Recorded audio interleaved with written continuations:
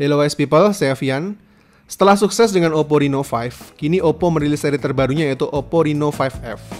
Apa aja sih yang ditawarin sama Oppo Reno 5F ini?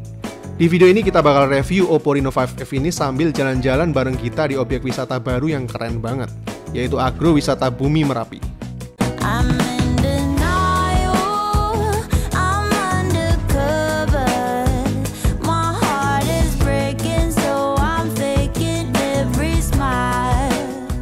Impresi pertama jelas desain bodinya. Oppo Reno 5F yang saya review ini varian warnanya fluid black. Bodi belakangnya ini kelihatan elegan banget. Kombinasi gradasi warna hitamnya ini ngasilin warna seperti titanium yang enak banget dilihat. Kelihatan premium dan nggak ngebosenin. Oppo Reno 5F ini nawarin desain ultra slim body, yang handheldnya nyaman digenggam tangan karena bentuknya 3D melengkung. Slim and light juga, tipisnya cuma 7,8 mm dan beratnya cuma 172 gram. Dan meskipun tipis tapi bodi belakang ini solid kalau kita ketuk dan tekan kayak gini. Nggak berasa ada ruang kosong di baliknya. Begitu juga bezel di bagian sampingnya, aluminium solid dan keras. Jadi nggak ngilangin kesan premium. Cuma memang masih ninggalin bekas sidik jari aja karena materialnya yang memang glossy. Tapi overall, buat desain body dan handheldnya jujur saya nggak ada komplain, soalnya memang udah bagus banget. Desain modul kamera perseginya juga solid dan minimalis, cuma sedikit tonjolan aja kalau kita lihat dari samping, dengan 4 buah kamera. Main kamera 48 megapiksel ini punya detail yang bagus, dan dynamic range-nya pun cukup luas. Menurut saya AI kameranya Oppo Reno 5F ini memang mantep. Soalnya foto-foto yang kita capture pakai mode defaultnya dynamic range-nya rata-rata terlihat luas tanpa perlu kita edit lagi. Tone warnanya juga balance dan natural meskipun beautification-nya udah kita hilangin. Cuma sedikit kurang cepet di bagian auto exposure-nya aja kalau pas ngelawan backlight. Jadi mesti lebih bersabar dan nggak bisa terburu-buru buat capture. Kalau urusan foto portrait, Oppo Reno series ini memang nggak ada lawan. Bokehnya bagus banget. Nggak kalah bagus dibandingin kakaknya yaitu Oppo Reno 5. Bokeh rapi banget dan diferensiasi antara objek dan backgroundnya kontras banget bedanya. Nggak heran Oppo sampai berani nambahin fitur filter yang unik-unik kayak dynamic bokeh. Jadi dynamic bokeh ini ngasih efek visual semacam motion blur, yang cocok banget kalau dikombinasiin sama background bergerak atau crowded. Objeknya jadi terasa jauh lebih dramatis. Neon Portrait buat ngasilin efek-efek dreamy looks, dan ciri khas Oppo Reno series yang paling klasik, AI Color Portrait.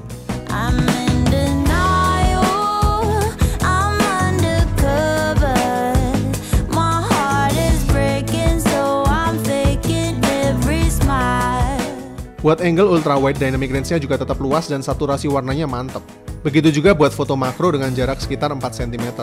Meskipun tentu aja detail resolusinya menurun, karena memang nggak segede main kameranya.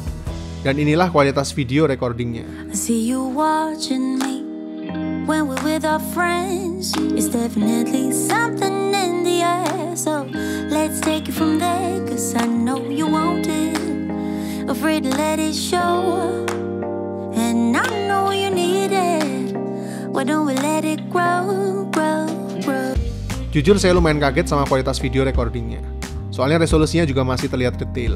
Auto exposure-nya cepat dan fitur ultra steady-nya juga bekerja sangat baik. Coba lihat aja. Stabil banget meskipun masih pakai EIS steady video. Cuma sedikit kurang optimal kalau kena overexposure aja. Saturasi warnanya juga oke okay banget. Yang kayaknya memang mengalami peningkatan berkat AI Scene Enhancement 2.0-nya. Tapi favorit saya jelas yang ini. Oppo Reno 5F ini AI-nya menurut saya bagus banget Autofokusnya bisa capture objek bergerak ke mana pun dengan sangat detail dan presisi. Tapi bokehnya bisa tetap rapi banget. Apalagi kalau pakai filter AI monokrom videonya ini. Jadi kita bisa pilih sendiri warna yang mau kita pertahanin, merah, biru, atau hijau. Sementara environmentnya tetap monokrom dengan real-time preview. Asli keren banget bos. Oh ya, Oppo Reno 5F ini juga bisa capture video sampai resolusi 4K 30 frame per second. Selain itu juga udah punya fitur dual view video yang bakal enak banget kalau buat yang senang vlogging yang ternyata Ultra Steady-nya juga bisa bekerja dengan baik. Coba lihat aja kualitas recordingnya, termasuk detail dan stabil banget baik kamera belakang maupun depannya.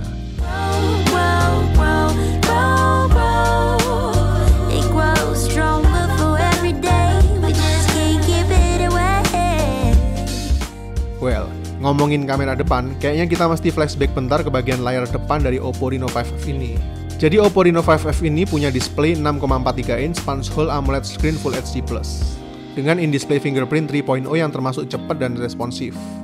Bezelnya tipis di bagian atas dan samping-sampingnya, cuma rada tebal dikit di bagian bawahnya aja. Lingkar pansul dari selfie kamera kelihatan minimalis meskipun udah pakai 32 megapiksel kamera. Yang detail resolusinya juga mantap. Coba lihat aja langsung sendiri. So let's take it from there. Why, why don't we let it Detail resolusi 32 megapikselnya terasa banget. Direct ke backlight ternyata juga masih aman. Biasanya kan kebanyakan selfie kamera sering alergi kalau direct langsung ke sinar matahari. Yang ini aman. Buat recording video selfie-nya juga masih oke okay karena ada fitur steady videonya juga. Oh ya, smart band yang dari tadi dipakai sama kita ini juga produk baru dari Oppo, yaitu Oppo Band yang bakal segera dirilis juga dalam waktu dekat. Jadi Oppo Band ini punya kelebihan bisa ukur kadar oksigen dalam darah, yang cocok banget buat pantau kondisi kesehatanmu di masa-masa kayak sekarang ini. Jadi stay tune aja nunggu info selanjutnya dari Oppo. Lanjut ke satu fitur keren terakhir dari kameranya, yaitu Night Mode. Awalnya saya pikir night mode-nya ini cuma ningkatin brightness-nya aja secara software. Tapi ternyata perbedaan antara mode auto dan night-nya terasa beda banget. Coba perhatiin detail objeknya. Di mode malamnya gambar terlihat lebih cerah. Detail resolusi tetap terjaga, tapi noise-nya masih tetap minim. Dan capture image-nya termasuk cepat nggak sampai 3-6 detik kayak night mode biasanya. Yang saya suka disediain juga tiga jenis efek keren, yaitu Cosmopolitan, Astral, dan Dazzle sebagai berikut.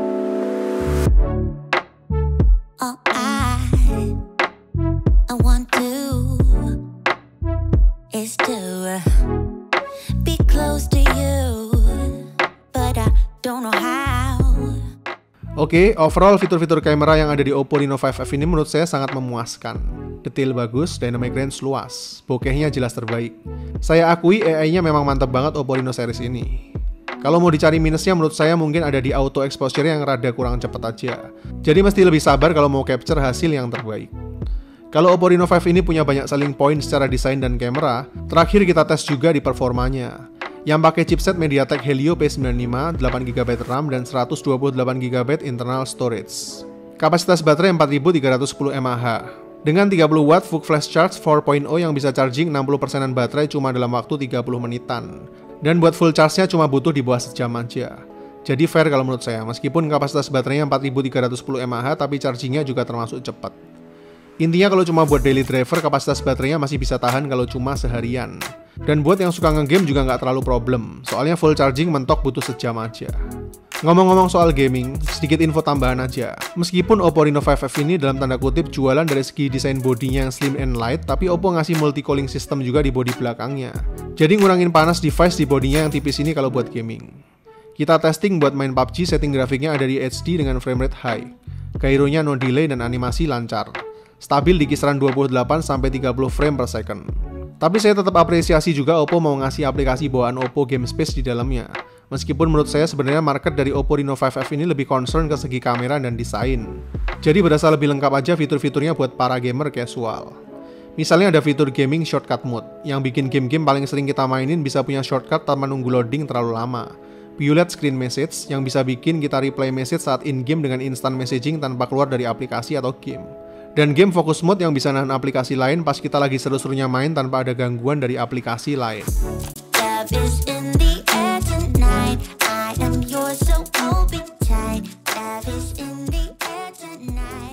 Oke, kesimpulannya. Menurut saya Oppo Reno 5F ini paket yang cukup komplit. Solusi yang recommended buat kalian yang nyari Oppo Reno 5 series versi slim and light dengan harga yang lebih terjangkau di bandrol 4,3 juta. Soalnya meskipun punya harga dan body yang lebih light, tapi fitur-fitur kameranya masih tetap nggak keluar dari pakem Reno 5 series yang memang keren. No gimmick dan nggak dipangkas-pangkas.